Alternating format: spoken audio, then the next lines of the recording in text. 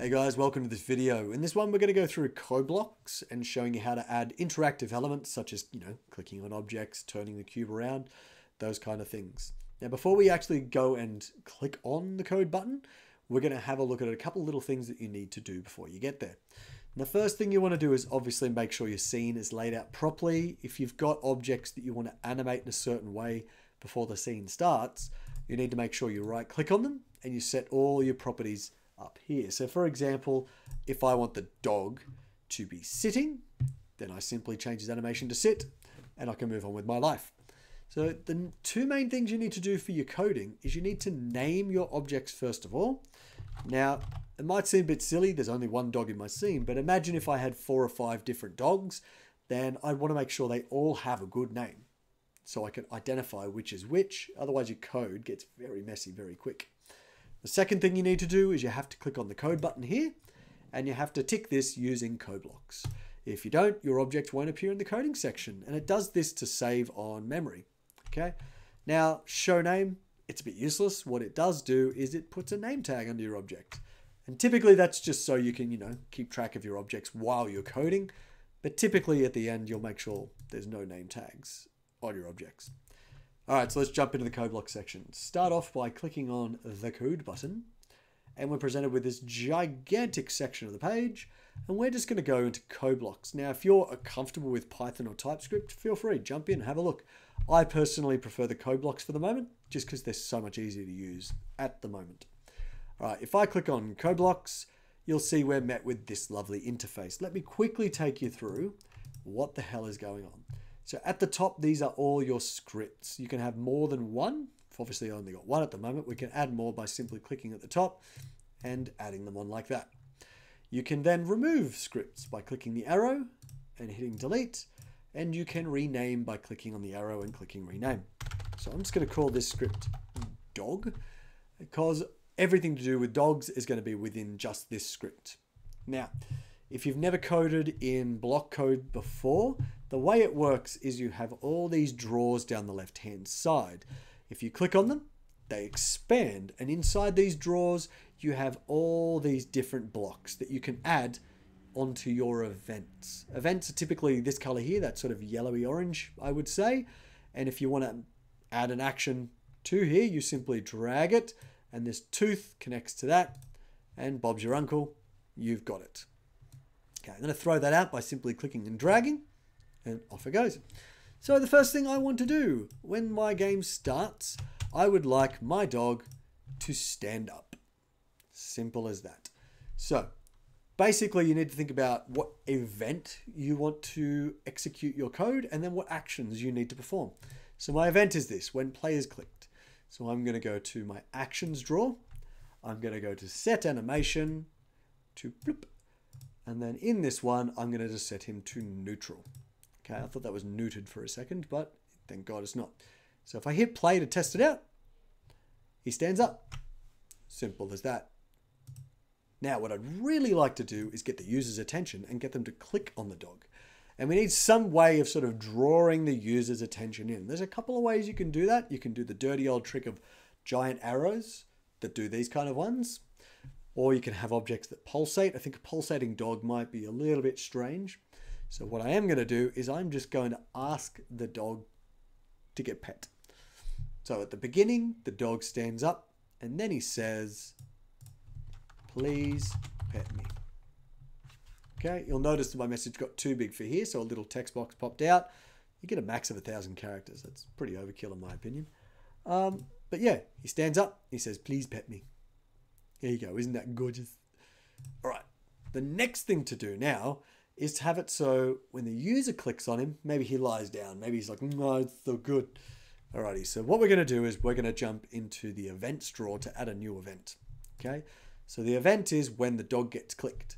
And this is simply it, the top one right here, when the dog is clicked. So let's grab that, plonk it in there. And the action is I want him to change his animation again.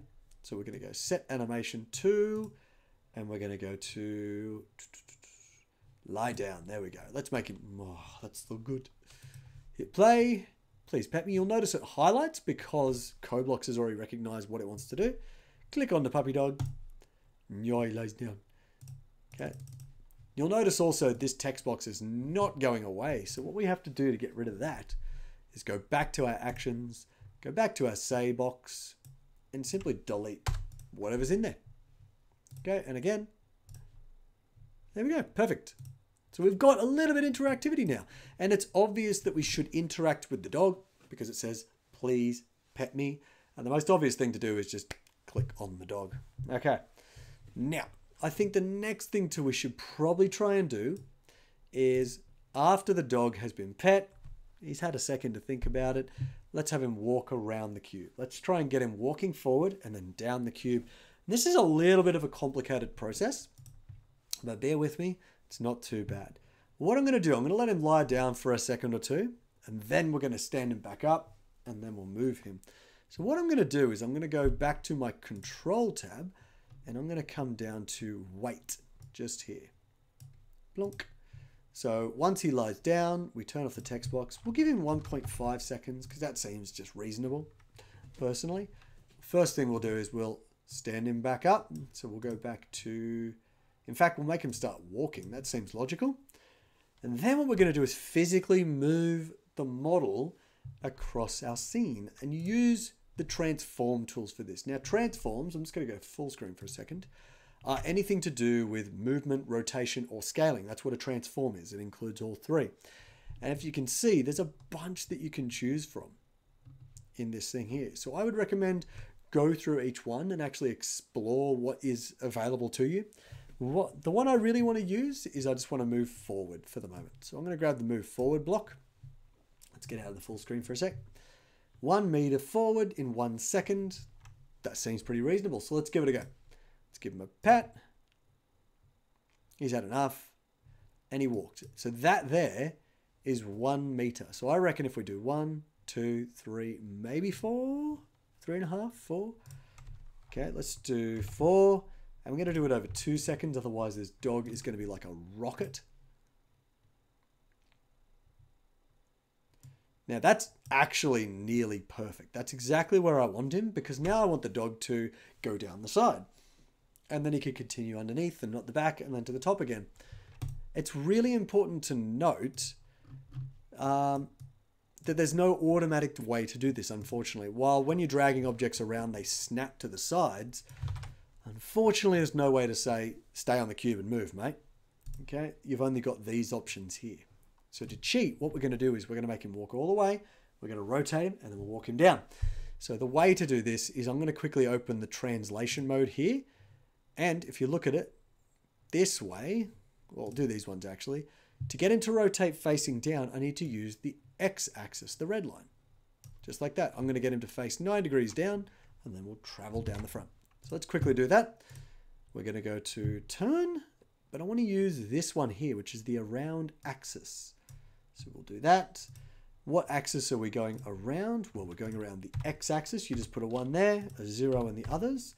And then 90 degrees is perfect. That's all we need. But I'm going to do a quick, let's try 0.5 seconds. And then I'm going to duplicate this. And we'll keep him moving forward. let's give it a go. Please pet. Sit down. Get up. Not 100% perfect. I'd probably have to tweak that forward value by like 0.1 or 0.2, but I'm pretty damn happy with that. So overall, I reckon the dog is almost done. I'd clean up this movement code so he gets back to where he started. Other than that, I'm really happy with that. The last thing I want to quickly show you is different triggers. And one of the coolest triggers is when you rotate the cube, you can actually trigger different things to happen. So let's quickly add a new CoBlock script at the top. And we're going to jump into the merge cube section here. So full screen for a sec. If you have a look, here's your events and you've got a bunch of things that you can do. And the one that's probably the easiest is going to be when cube side is looked at. Okay, let's just do something really simple. Let's start by maybe changing the color of the grass to something different like that. Okay, so I'm going to have to activate Oh, it's animated grass. Interesting. I didn't know that. Big patch. Okay, code, activate. Okay, go away. And when the top of the cube is looked at, our action is, and we're looking for color, set color of grass to red.